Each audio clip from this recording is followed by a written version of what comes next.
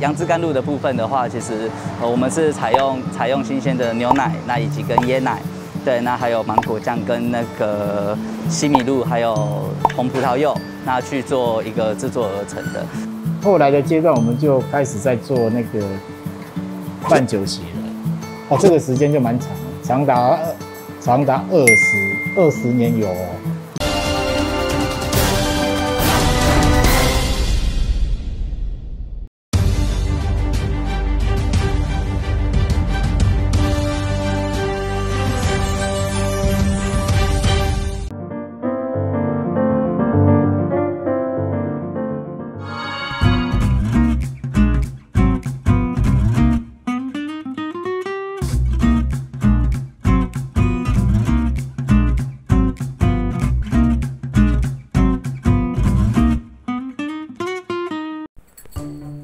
大家好，欢迎收看好房话题现场，我是肖一芬。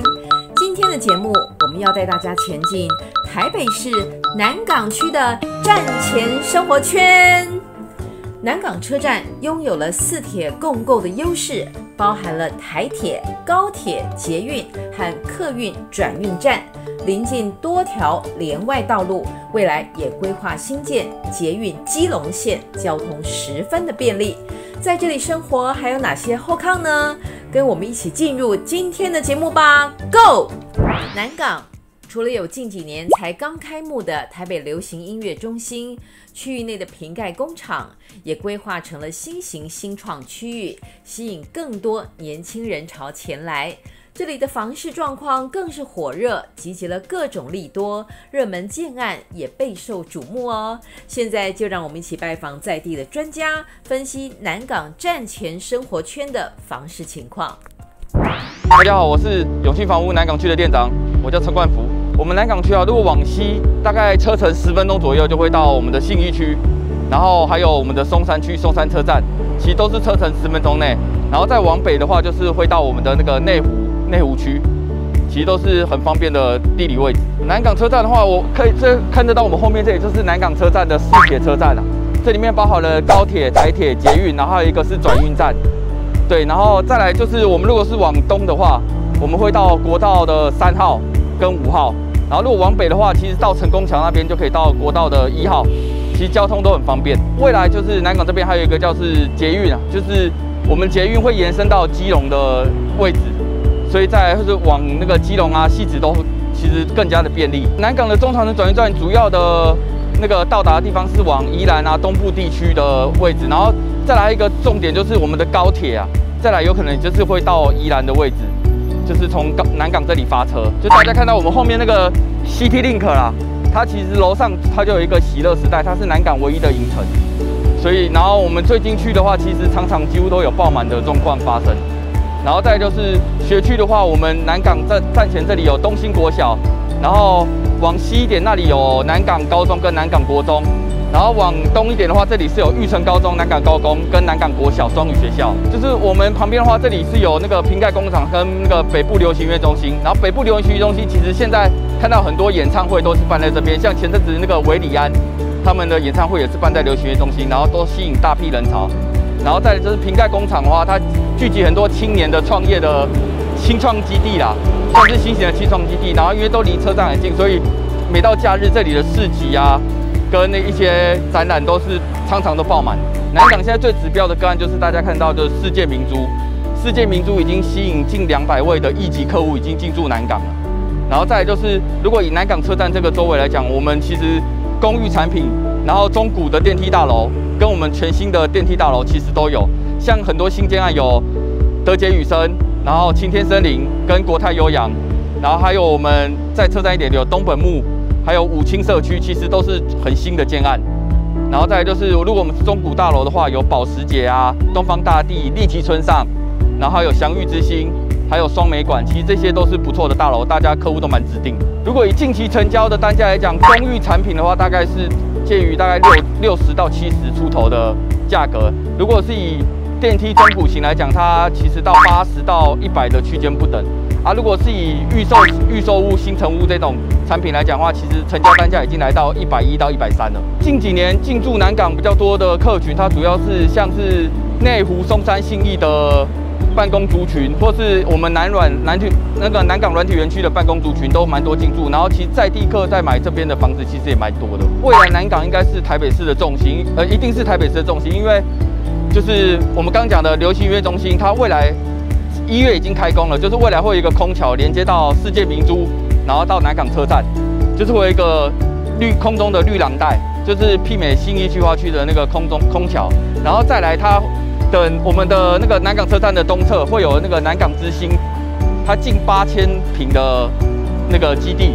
然后它那里也会盖到空调，然后一直延伸到展览馆，然后甚至到。那个中国信托全长大概有四点多公里。第一个就是周围的环境会有美化的作用，第二个就是世界名书是指标个案，如果它连接到南港车站，再连接到中国信托，其实把整个南港串联起来，它的产业链跟住宅的区块都把它串联起来。东区门户计划其实政府已经注入了近千亿，呃破千亿的资金在南港这边了，然后不包含一些私人的企业，其实也很多在进驻了，就是像我们的。中国信托啊，其实最一开始中国信托，然后还有我们后面的有那个汇丰、六福万怡酒店，其实都有进驻了。其实建安近期蛮多的，像如果以从昆阳站那里开始讲起来，其实那里就有南港吊车厂跟一个台电的都更案，然后在我们这边就是流行音乐中心跟我们刚讲的这个文创园区嘛，在旁边就是南港之星，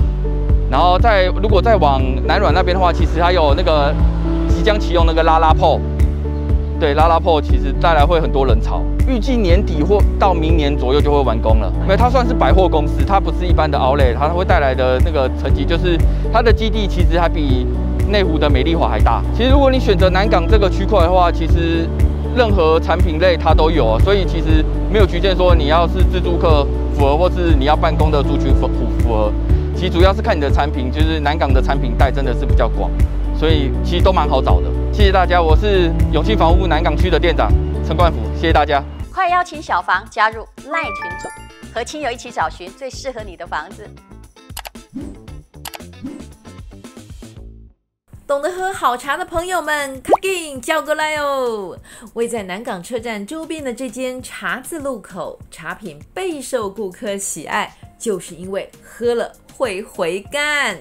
除此之外，茶字路口还有研发团队哦，让您时时刻刻都可以尝到新的口味。我们赶快一起去品尝吧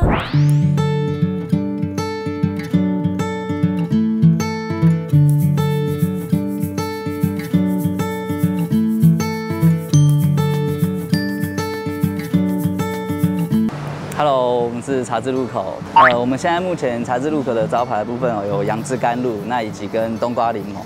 对，那那我我们这个茶之呃杨枝甘露的部分的话，其实呃我们是采用采用新鲜的牛奶，那以及跟椰奶。对，那还有芒果酱跟那个西米露，还有红葡萄柚，那去做一个制作而成的。那那个。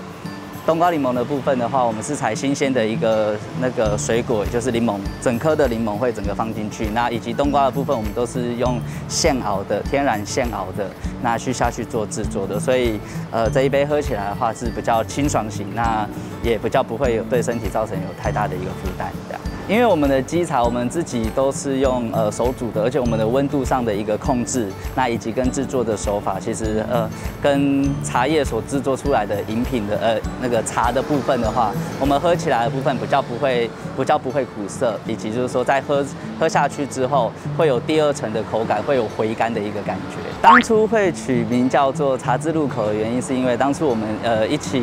共同的股东这边在做一个发想，那其实就我们希望说把我们的店，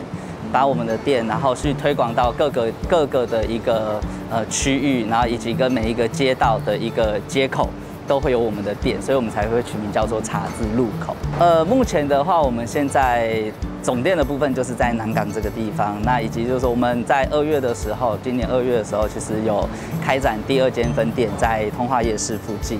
对，那预计的部分，我们在下个月的部分，我们也会再开到第三间在。中正纪念堂那边这样子，是因为说刚好第一也是因为离南港车站这边比较近，对，那以及就是说啊，第二的部分的话，也就是说在这里附近都是属于商办区，所以这边的商办人士会比较多，那订下午茶的机会也会比较大。对，那第三的部分的话，因为其实这边附近也有住宅区，所以其实客源也会比较稳定。呃，这边地区带来的优势的部分的话，其实也就是南港车站跟旁边的一个商办区的部分，其实这边人潮的确是呃在。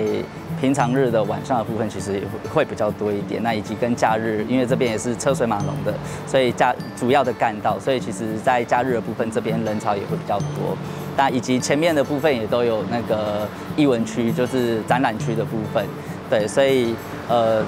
在人流的部分，其实这三个地方其实就带带动了蛮多的一个人潮。这样，这边的部分的话，其实我这边从接了这间店之后，我这边我们的宗旨啦，其实都还是属于走呃贴心服务为主。对，那像我们这边自己有发展出我们自己的一个外送的外自己的外送平台。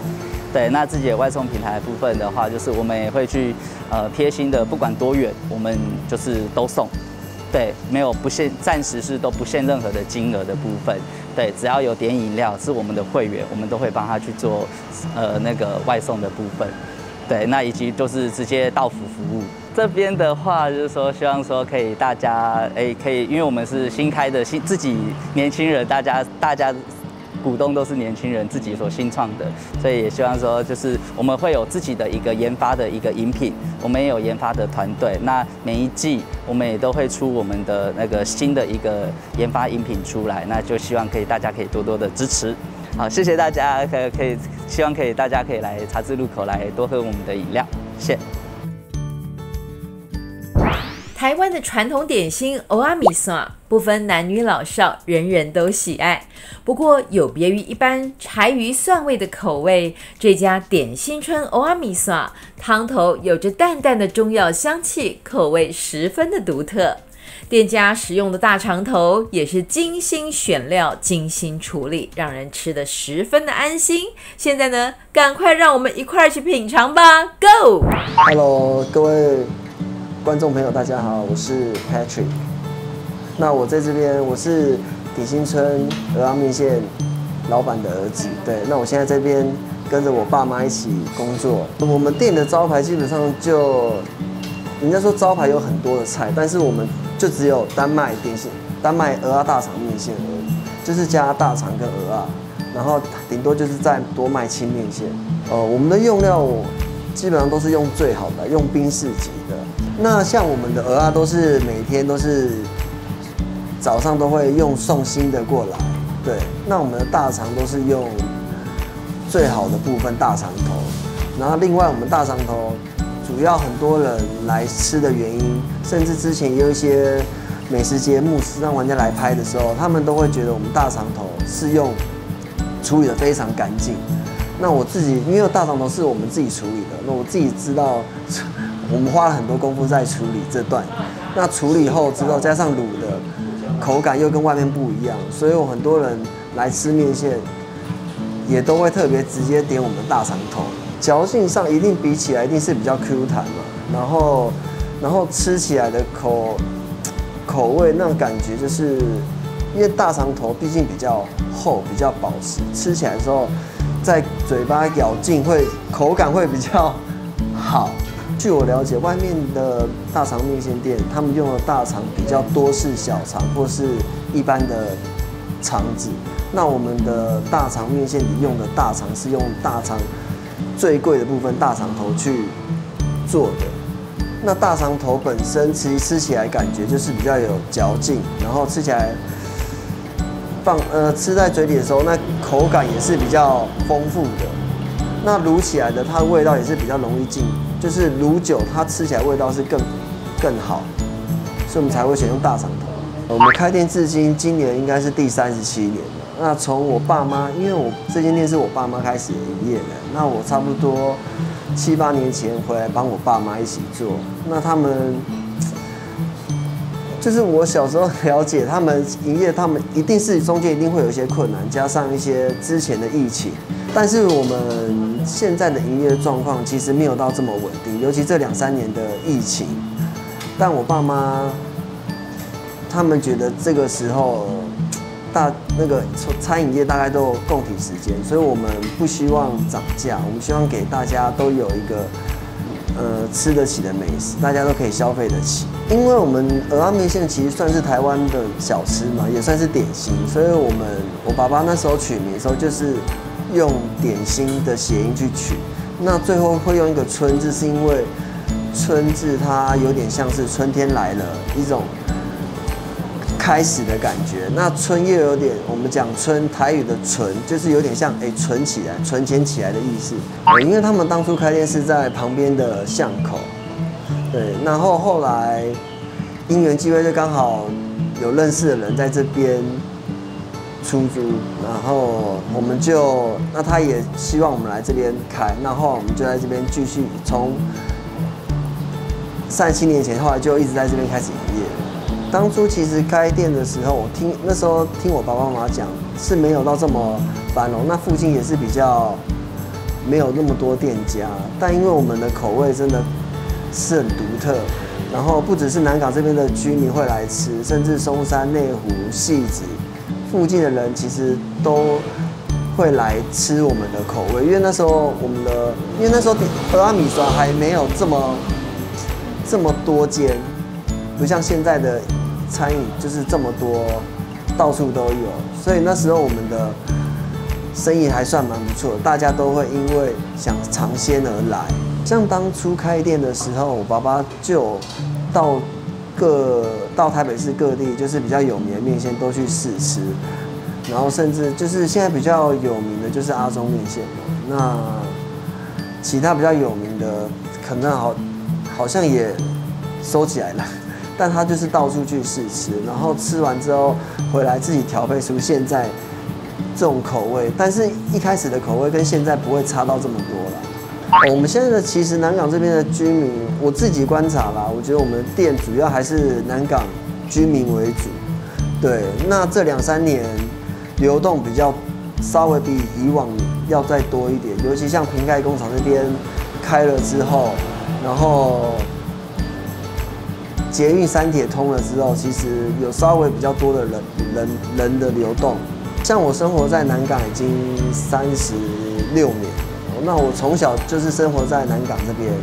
那从我小时候印象中，没有到这么多的吃的跟玩的，甚至是卖的卖场这些。但这几年真的是越来越。便利，不管是交通便利、生活便利，呃，甚至是娱乐方面，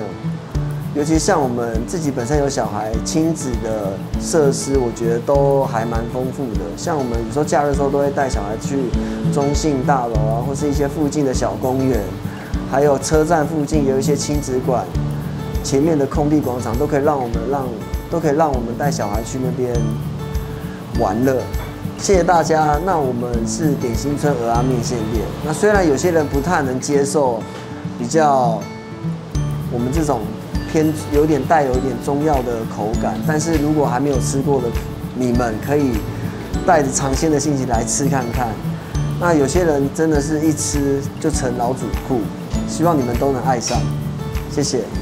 台北市南港区就地理位置来说，位于台北盆地的东侧，北边为内湖区，东边为新北市的汐止区，南边为文山区和新北市的深坑区、石碇区，西边则是松山区。一九五零年代，政府为振兴南港经济，将南港指定为工业区，吸引了许多厂商进驻设厂，包括南港轮胎、台湾肥料公司。后来，中国电视公司总部迁入南港，带动了南港的产业转型。直到今天，南港已经成为富含文化媒体的区域，并在二零二零年开幕营运了台北流行音乐中心。在交通方面，南港除了进驻捷运板南线、文湖线，也有集捷运、台铁、高铁于一身的南港车站。未来也规划新建基隆捷运，交通非常发达。南港经贸园区里也包含了南港软体工业园区、南港展览馆。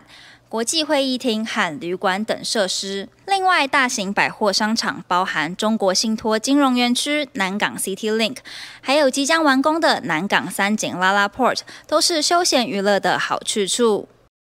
南港也具有十足的文化气息，南港瓶盖工厂就时常举办展演及市集等活动，吸引人潮。中央研究院和国家生技研究园区也在此进驻。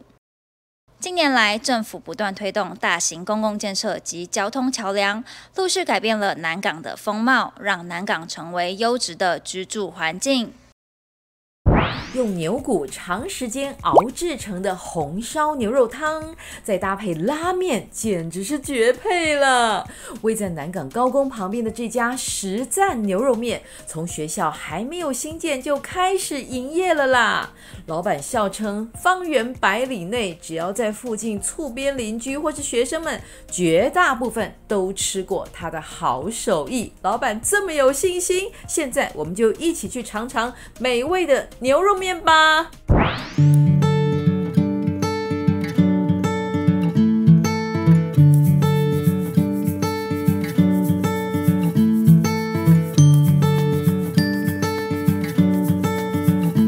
嗨，我是实战牛肉面的老板。你好，面内的话，我们现在以以牛肉面的量比较大，好，然后再过来的话，干面的话就是以炸酱跟肉燥，肉燥是后面才有的，哦，之前没有肉燥，但是后现在的肉燥比较用量比较大，嘿。那再过来就是酸辣类的东西。酸辣类的话，我们有两个类种哦，就是酸辣馄饨跟酸辣汤饺，哦，它的量数也很大，所以我这边跑的数量哦，整个的数量来讲说还比较平均啦，就是比较会多一点的是在牛肉这方面比较多。我的面条哈，我的面条是属于拉面，哦，拉面拉面的面条是跟我们外面通常我们在吃的刀削面，哦，它那属于同同类种。的，哦，但是面条是湿湿的，哦，像我们阳春面或者是那个他们是干的，哦，所以是不同类型，哦，啊，而且我们这种保拉面的保存性哈，跟我们阳春面的保存性不一样，因为弹性的问题，因为它是湿的，所以到达到到达一个温度的时候，它我们就一定要把它放到冰箱冷藏起来，就是把它那极限到那个那个时间，不然哈面会酸掉，因为它还会继续再发酵，我们面都会发酵，所以我们都一定要。把时间抓好哦，放到冷藏箱里面，所以它过程上比较麻烦一点。那你如果阳春面的话，它它是干的，它就没有这个问题。我这边的红红烧牛肉面的汤头是以红烧为主，哦，那它的它的味道是比较靠近比较台式的味道，哦，不像他们有的是川式啦，什么什么。哦，麻辣什么？我是不是那一种？我比较靠近我们台菜这种味道，哦，比较不会那个很重，但是也不至于说味道太轻，哦，但是跑到就是比较中间那一种而已。对我，我那个都是都是一定要用牛骨，哦下去熬，哦，纯粹都是用牛骨，哦，而我们里面是完全不放那个什么。什么添加物什么比较都没有，我们都是哦原来的东西哦豆瓣啊这些哦就是没有什么味精啊什么没事都是没有哦我们盐连巴都没有放哦这是自动这样熬出来这个哦这个是经常每天都在动没没有在停我只有晚上我们停锅的时候停锅的时候因为要整理我们才会关火而已。剩下的时间其实都不关火，那就是比如说我旧的牛骨头捞上来，我新的牛骨头下去，这样，哦，烫完了之后我们就要下去，好像我们现在这个休息时间，我就是要下骨下新的骨头下去，因为你我们等一下还要再用，所以旧的上来，我们新的又再补下去，就是这样子在循环。我们这边小菜连同。没有出来的哈，就是说我们一天有在外面你们看得到，差不多有二十几样，二十几至三十左右，有可就是三十以下了。好，有时候会更多，因为现在的流量没那么大，所以我们有一些东西我们就减产掉。好，因为没有那么多，像我们有隐隐藏版的，像牛肚啦、凉拌牛肚，凉拌牛肚外面很少做，为什么？做了就卖不出去，你要倒掉。所以你现在我们人少没那么大，我们就不敢做这种东西。那它就属于在我们隐隐藏版里面。我们隐藏版里面有好几种。那我什么时候可以知道？那可能你要过一段时间呐，因为要过一段时间呐。你像我们有时候也会拿拿那一种什么贡菜呀，哦，我们现在也有海蜇皮，我刚才忘记拿出来。我们也有凤爪，因为它都在冰箱里面的，哦，然后也有凉拌鸡胗，这个都是我们每天都会有的，嘿，那你像有一些隐藏版的，就是像有时候我们隐藏版会出来，就是有时候，哦，牛肚，哦，还有我们要看当季的，当季抓得出来的东西啦。哦，我们像夏天的话，就有有时候我们也会也会有凉笋出来，但是现在不行，凉笋太贵了，我们也没办法做，所以要看。我们会做当季季节的东西出来，好，那个就是隐藏版。那最多人点的是什么？最多人就是这个，这个也很多人点，哦，然后这个也是，我现在拿出来这几几个是这四个已经已经是。都是经常点的啦。我一开始是跟爸爸在做做肉羹面啊、卤肉饭啊这些东西，然后后来又转到做自助餐。我们做自助餐的时候，那个南港高工还都还没盖，哎，然后自助餐之后，后来的阶段我们就开始在做那个办酒席了。哦，这个时间就蛮长，长达长达二十二十二十年有超过，哦，就是跟着跟着我的我我们是比如说小月的时候，我们好我才做这个面内的东西，都变成面内是基准基准，然后有接 case 我们就出去做了。那以前的隔壁是我们专门在做研习的，我们。把它租下来，专门做研习的，就是客人来要办酒席，我们就在隔壁做。我本身是在地南港人，所以我长在这里，我对这边的情况比较了解，所以我就选择在南港。哎，其实有很多机会要到北线去，但是自己身体负荷不了，所以就没有办法去。像远雄广场，我也曾经联络。叫我们过去啊，但是真的是没办法。以前以前像他他现在没有没有夜间部了，好，要夜间部已经没有。以前他有夜间部的时候，几乎哈，几乎他们的用餐，哈，都会在这边吃，哎，所以以前我做的南港高工很多很多很多，只要在这边毕业的，我不敢说几分之几啦。很多啦，现在可能小孩子也蛮大的，也多很多了，哎，都会知道这家店。但是我以前哈，以前是圆桌的，然后后来改成木桌。他木桌可能比较比较知道，木桌的时间比较长，长达十几年，十几年。所以你看十几年就有十几届了，哎，就有十几届。所以我后面这七年才改成这样。所以他们回来的时候还要再看一下。还要再看一下，这样 是不是这一家这样？哎，希望你们有空哦，来我店里走走哦，啊，能够来我们吃我们家的牛肉面或者我们家的小菜，还蛮有名的哦。啊，我们也做了四十几年了哦，可能可能我们熄灯号也快了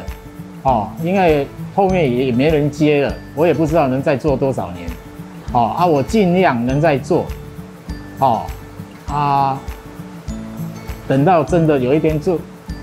作为做作为叮当啊，那就没办法做，我就要熄灯号了。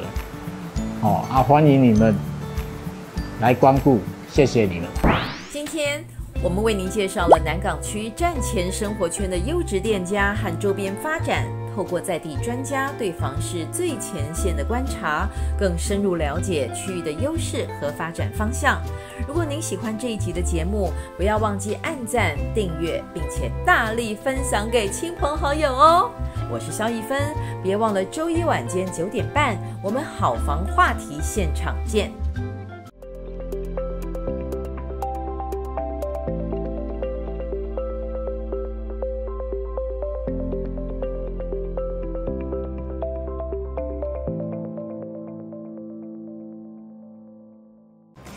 好房网 YouTube 频道，就能收到最新通知。